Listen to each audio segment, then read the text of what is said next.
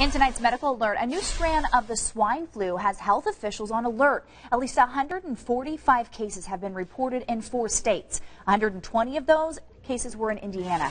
State officials there are removing hogs from fairgrounds as a precaution. Now, according to the Centers for Disease Control and Prevention, many of the cases are as a result of human to pig contact at state fairs. The CDC says it expects the number of cases from the H3N2 variant to increase in the coming weeks. Preliminary steps have been taken to develop a new vaccine for the new strand.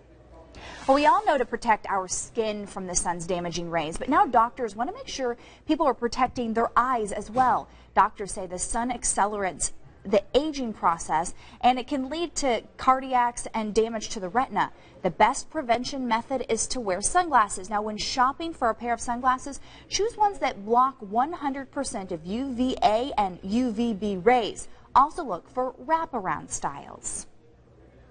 And tonight, doctors across the country are asking parents to take an active role in making sure their child stays healthy and safe this school year. The American College of Emergency Physicians are out with a list of things to consider. Consider they they suggest making sure your child's medical records are up to date and available to the school. Doctors also suggest having a family emergency plan in place in case something happens. It's also important that the school has the necessary contact information in case of an emergency. There's new information tonight when it comes to treating cancer. It turns out that the most familiar household drug of all can help. Here's Dr. Timothy Johnson. Old fashioned aspirin is still the staple of many medicine cabinets the world over.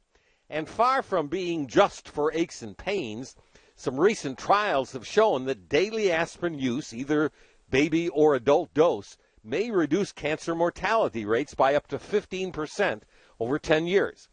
However, other studies found that aspirin had no effect on cancer mortality. So a new study in the Journal of the National Cancer Institute takes another look.